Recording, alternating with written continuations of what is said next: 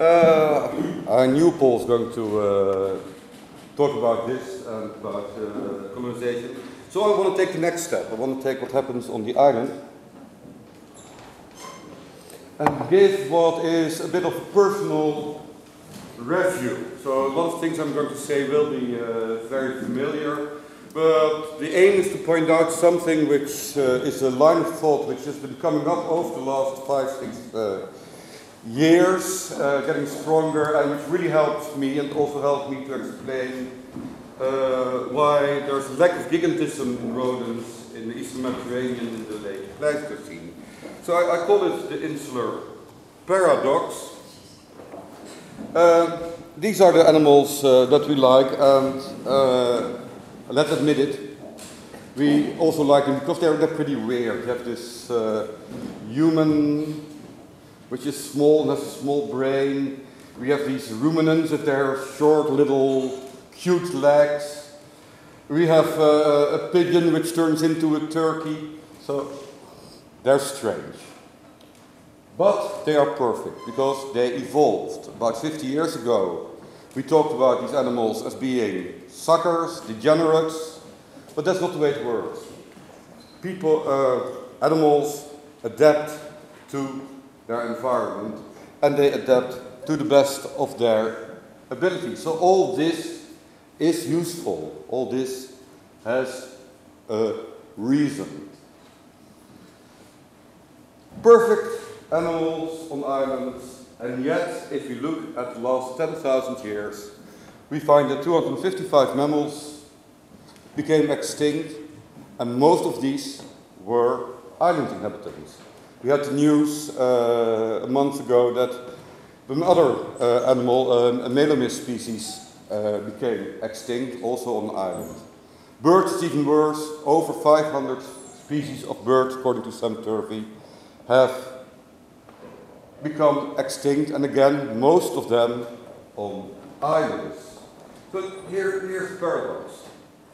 If you are perfectly adapted to an island, why is it so vulnerable?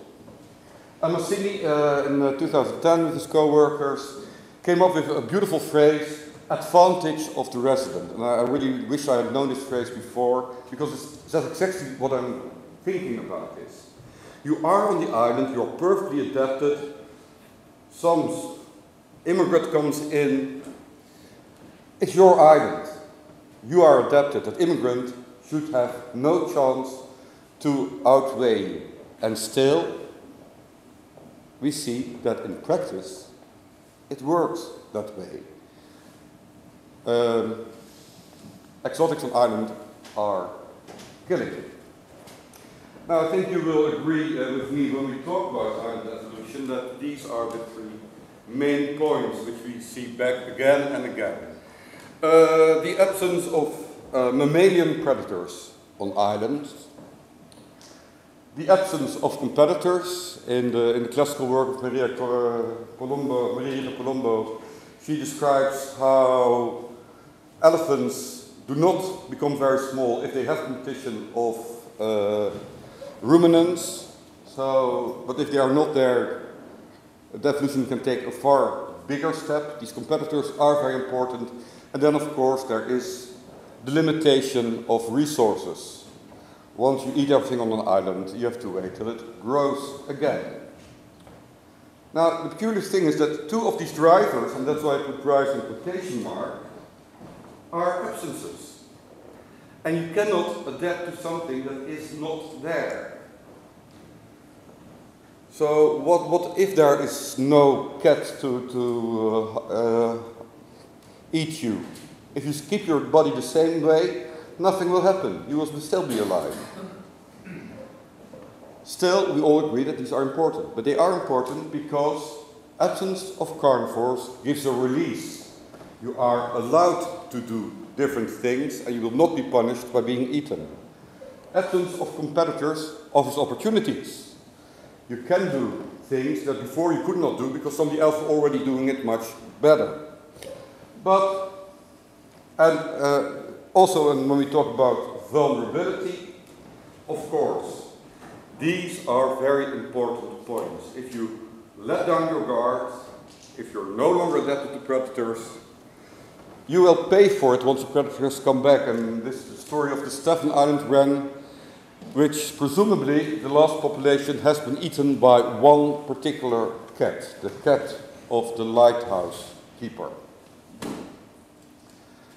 But the real driver, the real thing that makes island evolution and makes island evolution so similar on all islands, that all islands have to deal with the limitation of resources. You cannot go, walk away, because you're stuck on an island. In the mainland, you would. So, how to, what to do if uh, resources are limited? Well, it's just like uh, housekeeping. You just make the most of what you got, and less is more. Big body size, okay, let, let's make it a bit smaller so that we can have a viable population that is not killing the island by eating everything. Why would we need long legs? Long, long, long legs, you have to make them and then they're only getting cold. So let's have short legs. We don't need to run anyway. Uh, again, body size. A brain. A brain is very costly, costs a lot of energy. So when you're on an island, you don't need a big brain. Anybody who feels so may now insert a Brexit joke. And then there, there's the rat. And that one comes bigger. So with my animals, the ones that I like, apparently more is more. You get bigger. Well, a quick lesson in ecological uh, expenditure of energy shows that we uh, have a fast and slow continuum and at the end and two extremes. We used to call this R and K select, but for some reason we changed that. At the fast end, you invest in the species. It's the, what happens if you have a high extrinsic mortality, life is a lottery, just get as many individuals out there as you can, somebody will survive. Slow end, if you have a low mortality, you can invest in the species by putting the energy into nice big individuals. Now looking at all the typical characteristics of the uh, fast slow continuum, it's nothing that we can really work with as paleontologists, except the adult size. There's a small adult size if you are on the fast end. If there's somebody out to kill you, stay small. Don't invest uh, in that body because that body may be eaten anyway. On the other hand, if, are, uh, if you are safe, make a big body and invest in years of nice living. It is correlated with the other characters, but you don't want to work that way. You want to see something of these other characters as well.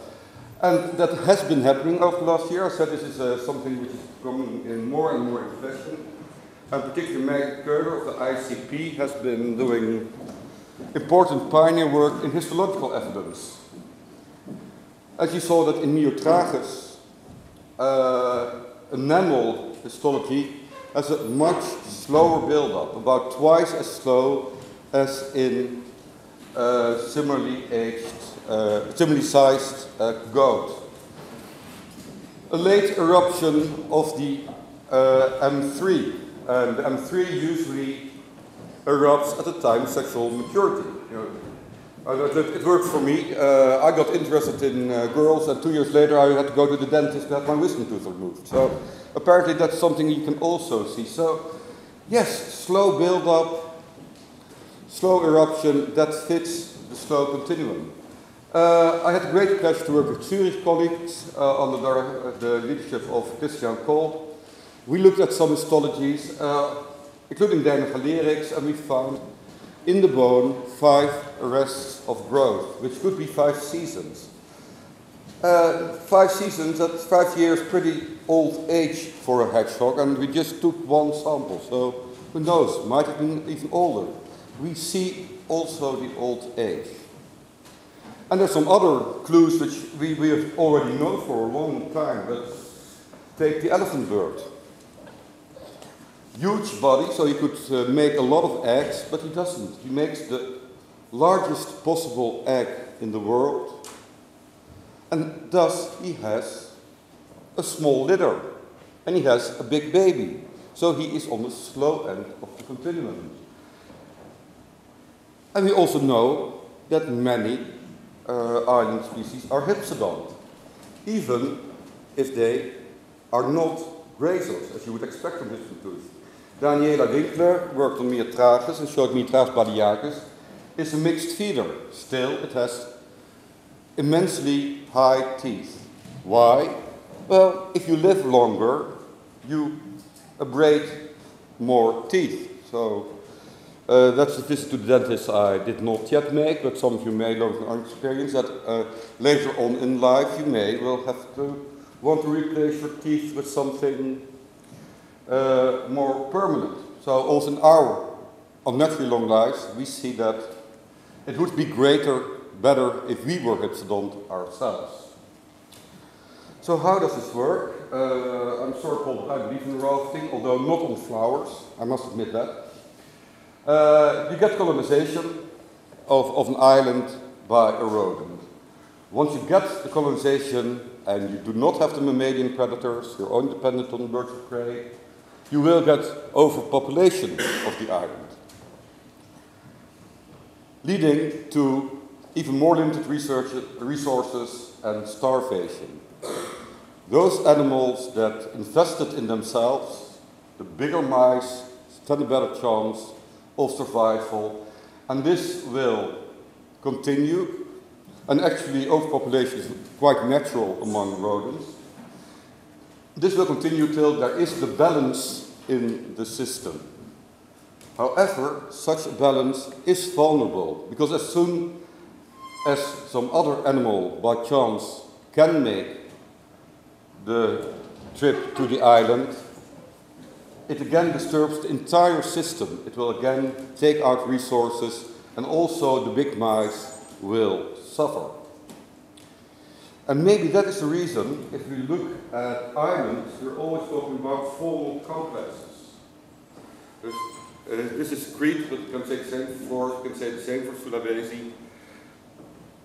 Um, apparently, always there is a new chapter, and the vulnerability that nowadays has much to do with us introducing cats and rats and dogs on islands is something which is also already present in the past when we saw this change from one complete fauna to another and never a fauna which now and then happen to get another animal in there.